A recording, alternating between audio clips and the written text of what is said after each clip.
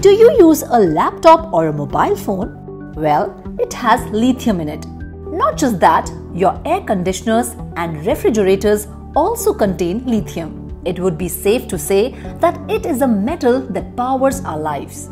A versatile metal, lithium is used in electric vehicles, smartphones, laptops, aerospace alloys, air conditioning, refrigeration units, and much more. Apart from this, lithium is also used in certain medications to treat bipolar disorder and other mental health conditions. Lithium has been a central player in the development and production of renewable energy technology. But did you know that recently India has made a significant discovery of lithium in Jammu and Kashmir? And this discovery has generated a lot of excitement among investors and mining companies. But it's crucial to look beyond this one discovery and consider the larger picture. In the long run, the reserves might be a game changer for the nation. But if we look at the global scenario, then it may take at least 10 years to start mining effectively. So, why does India need to look beyond this big discovery?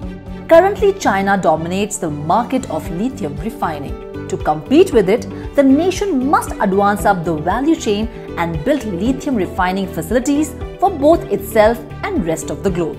For this, India needs to develop a workable lithium supply strategy for both the short and long term. Has India hit the lithium jackpot? In 1999, the Indian Geological Survey announced that Jammu and Kashmir might have lithium reserves. After more than two decades, we discovered approximately 5.9 million tons of lithium. But a lot more research is needed to determine the amount of lithium that can be extracted. Now, digging up the buried lithium and putting it inside batteries that can power your autos and two wheelers could take several years.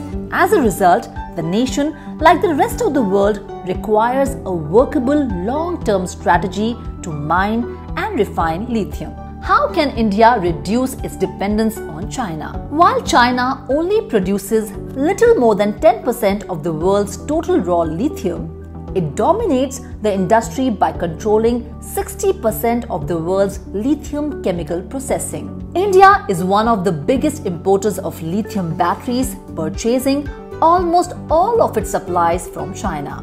To reduce its dependence on China, India needs to develop a two pronged strategy.